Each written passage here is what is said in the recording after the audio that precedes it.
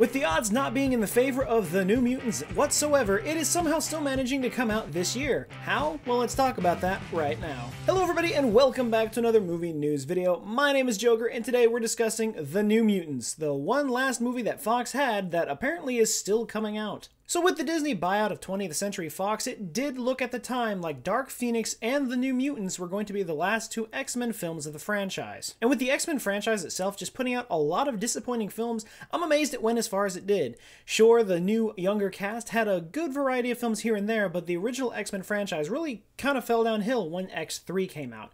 Yes, Logan was a monumental film and had fantastic moments and a great ending, but it just kept going, and to no end, it just started to make no sense. Now don't take this as me bashing the films in any way, shape, or form. I literally own all of them on Blu-ray for some reason, I'm not sure why, but I guess in some way I do enjoy the stories, but you cannot deny that these movies are just not good. But after the disappointing release of Dark Phoenix earlier last year, it made me wonder if The New Mutants is at all supposed to be coming out. After all, the first trailer for New Mutants came out October 13th, 2017, with the initial release date being April 13th of 2018, and as you can tell now, it's 2020 and still that movie has not come out. And with Dark Phoenix really seeming like the nail in the coffin for the X-Men franchise after the Disney buyout, it really surprises me that this movie is still happening at all. And that's for a lot of reasons, mainly being the Disney buyout. The Disney has an established Marvel Cinematic Universe. Yes, there's still some things like Deadpool that exist outside of it, but it's already been confirmed that Deadpool 3 is being created and it is going to tie into the MCU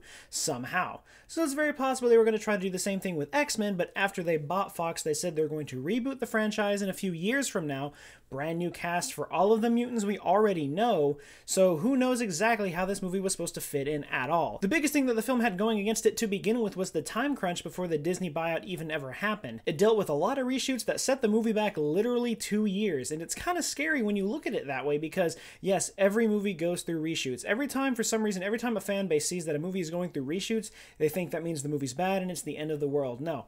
Every single movie goes through reshoots, but it also does depend on the movie depending on how many reshoots they're doing. In this case, Dark Phoenix and New Mutants both went through extensive, drastic reshoots for a lot of scenes, and in some cases, New Mutants went through an entire rewrite of the second act of the movie. So with everything going against the movie, why do you still want to put it out? What is going on in this movie that Disney thinks we can still put it out in theaters and it's going to be great? Well, with the news from the director that the new trailer for New Mutants is coming out this Monday, January 6th, and the movie movie is apparently scheduled for April 3rd, 2020.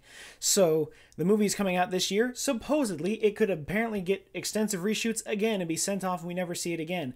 But what is going on with this movie and why is it still being made? I have zero ideas. The biggest idea I have now is the fact that Disney is still releasing movies under the Fox name, and while, yeah, they own the company so they can do that, I'm pretty sure there was probably something in the document they signed when they signed when they did the merger and bought the company that some of the films that were already in production were still going to be released no matter what due to, I don't know, whatever they signed and whatever contract they made. That's a possibility. Either that or they truly see potential in New Mutants and think it will do well. That last one feels like a stretch, but it is a possibility. Maybe they did find something new in doing reshoots. It turned it into a better movie than they could have hoped for, and they're at least like, let's put this out, let's get it in theaters, and make some of the money back from marketing and possible production fees. But with all of this around it, it leaves us with a couple of questions as far as is this MCU canon? This will be the first ever X Men franchise movie released by Disney, but is still under the original in association with Marvel name. It's not necessarily tied to the MCU at all. So is it going to be tied in like everything else? Definitely not. I don't think it has a place for this at all, but you never know. Another one of the issues you could talk about is their casting issues because right now they had a great cast to begin with, but the cast for the most part was really young at the start of filming and now coming into 2020 with all these extensive reshoots, there's going to be drastic differences in the ages of some of these actors and actresses they had to play the New Mutant teenagers. Don't know exactly how that's going to play out or if they're going to do anything else to that. And there was also talk of them adding a new cast member to the movie halfway through shooting. So who knows what it's going to look like as far as the cast appearance on screen. If you go back to that idea is it worth releasing at all? And I'm going to say apparently so because Disney thinks it's Apparently, there's a reason for them to want to release it in theaters, if at all, and even to streaming services, if they're going to plan for that at all. Will it be going to Disney Plus, or they're they going to stick the Fox route and release it on Hulu? I don't know. I think the biggest question for this is Is this going to be the same movie? When we go back and look at the original trailer from 2017, it told us a very dark, gritty story of teenage mutants that are being experimented on in really crazy ways in this darkened, looks like an abandoned hospital, asylum, you name it, but it's all based out of the story from the comic of the same same name, The New Mutants. But now, with all of these years of extensive reshoots, and now that the movie is being pushed back from 2017 all the way to 2020, is it going to be the same movie? Probably not.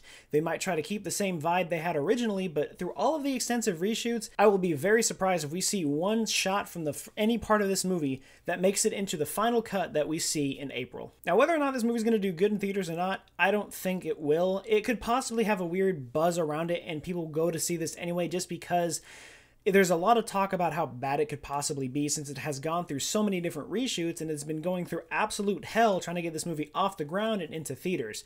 There could be kind of a smaller cult following behind it that wants to go see it in theaters once it's finally made. I personally want to see it just to see what happens. Uh, Splash, you've met him, my co host, has talked several times about wanting to see it from the original movie. The first trailer gave us a good, gritty, scary story of the New Mutants. We thought that's what this was going to be, and after all the reshoots, he's curious to see if it's going to be the same story and what's happening with it. Is it going to be good? Probably not, but he's kind of curious to see what they did differently with the story with all the reshoots and if it still looks the same as the original trailer we got in 2017. I think that's a fair assessment to think what is the movie going to look like, that part I'm curious about, and I will see more of that when the trailer drops on Monday, which I will be doing a reaction to. But until that trailer comes out and I get any more news to tell you guys, because honestly, I know barely anything about this movie. I don't have all the facts. If there's more to this that I'm missing and you know about, let me know in the comments down below. I definitely want to talk about it. But until any discussion sparks up and until that trailer drops on Monday, that is going to be it for this video, guys. Remember, if you like what you saw, be sure to leave a like, comment, and subscribe. Let me know in the comments down below if you want to see more movie news videos or if you'd like to see anything else. But until then, and as always, I will see you guys next time.